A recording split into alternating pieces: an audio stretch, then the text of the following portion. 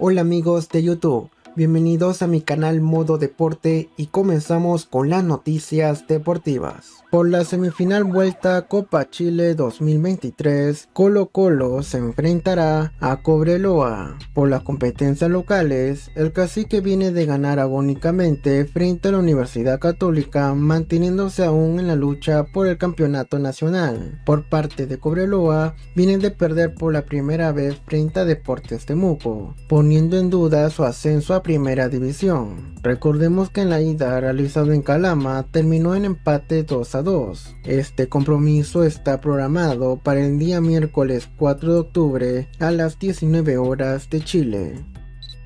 Flamengo despidió a Jorge Sampaoli. Cinco meses después de ser presentado por todo lo alto, se va con más pena que gloria tras ser destituido por el mismo club brasileño por malos resultados. Con la ilusión de ganar todo bajo las órdenes del entrenador argentino, el cuadro carioca rápidamente se quedó fuera de la Copa Libertadores en octavos de final y cayó recientemente en la final de la Copa de Brasil ante Sao Paulo por si fuera poco, también está relegado en la pelea por el Brasileirao, quedando así sin opción a títulos esta temporada. La salida de San Paoli no le saldrá nada barata a Flamengo, que tendrá que pagarle alrededor de 2 millones de dólares por su destitución.